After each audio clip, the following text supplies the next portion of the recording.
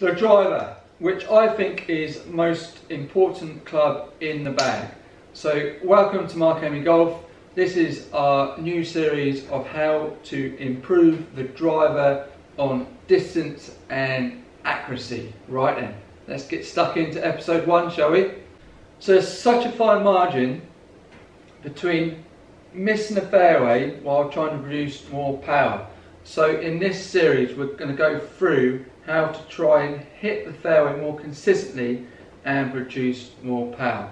Now the main thing that you have to tick off first in this episode, as you can see behind me, is the strike, is getting that centre strike.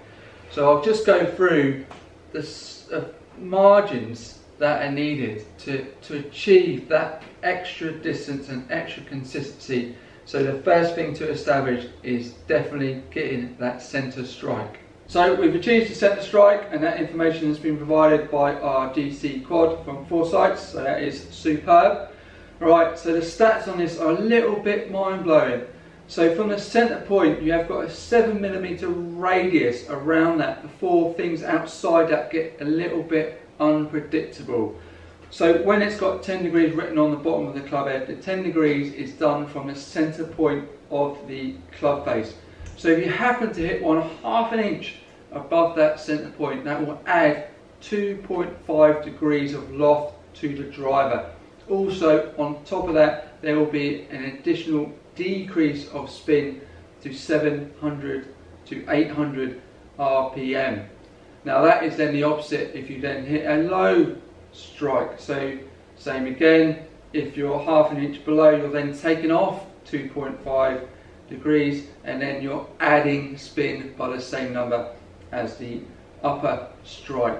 And then on the left to right, so across the club face, so if you're more into the hill, that will also increase the spin and then more in the toe will then decrease the spin.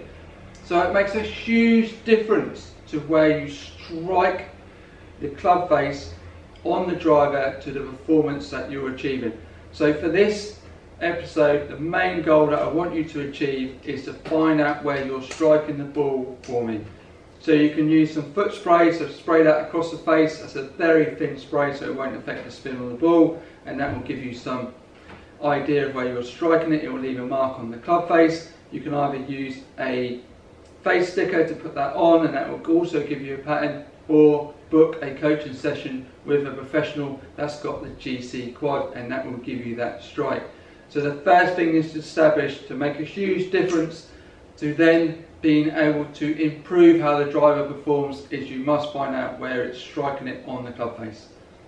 Any questions or comments please send them through. Give us a good thumbs up. I hope you enjoy the series. Subscribe and I'll see you soon.